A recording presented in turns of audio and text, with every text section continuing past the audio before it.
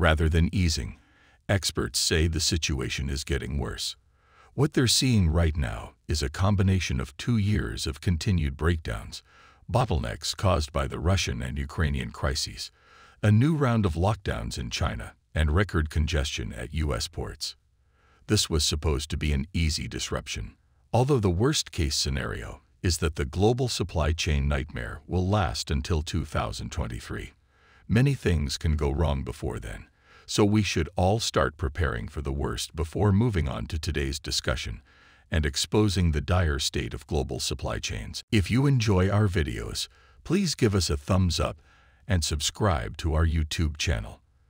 Now, as a result of these shortages, we've seen price rises on everything from homes to appliances to cars to even food essentials rise during the previous 24 months.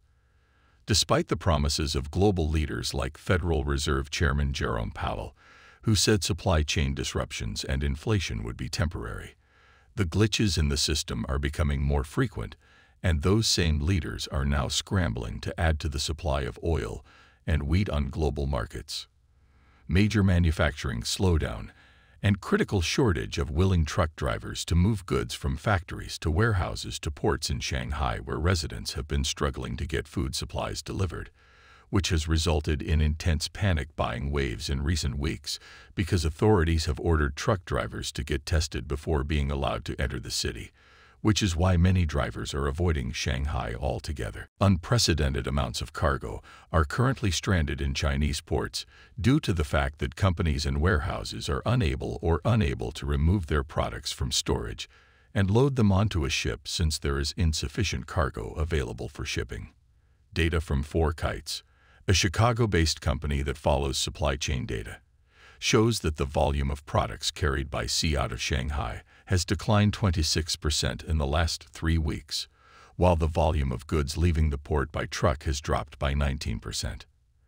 As one logistics expert explained to the Loadstar, after the factories reopen and the supply of goods increases, the price of shipping will rise once more as a result of a shortage of containers in China's ports to accommodate the surge in demand, causing havoc in a supply system that had just begun to recover from last year's disruptions. He said that many of the things we use around the world are manufactured with components from China, and we're about to see a logistic snarl that will dwarf anything in 2020 or 2021.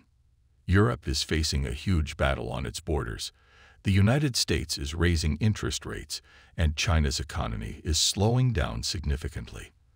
Martin remained on top of the latest outbreak of infections. UNK Knutson, managing director of China Tall Group, sees a wide range of factors at play, including a lack of new container capacity coming into the market, which will prolong disruption and keep shipping rates at record highs if there is a port labor strike in the US West Coast and a lack of new container capacity coming into the market. While the disruptions are expected to last for the next year, Knutson predicted that they could last until 2023 if they are not optimistic. In his view, the situation hasn't changed fundamentally, and some of the underlying factors such as a lack of truck drivers, a lack of chassis, and low productivity haven't changed at all, he said, arguing that customers are going to continue to rely on a supply chain that's broken. Joe Terino, who heads Bain & Co.'s global supply chain practice, says that before the Ukraine crisis broke out, we were looking at 2023 for things to get back to normal. Now, he says, it's hard to say when it could end since we don't know how long it'll go or how far-reaching it could become.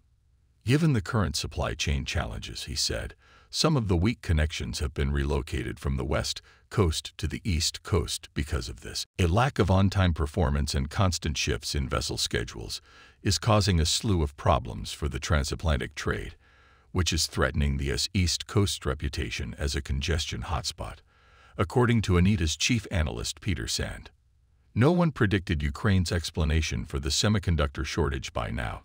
The chip shortage is affecting nearly every industry in America and this could lead to a long-term manufacturing crisis if the situation is not resolved quickly. As shortages intensify, our inflation problem will become far more severe for ordinary Americans, meaning that their standard of living will continue to decline.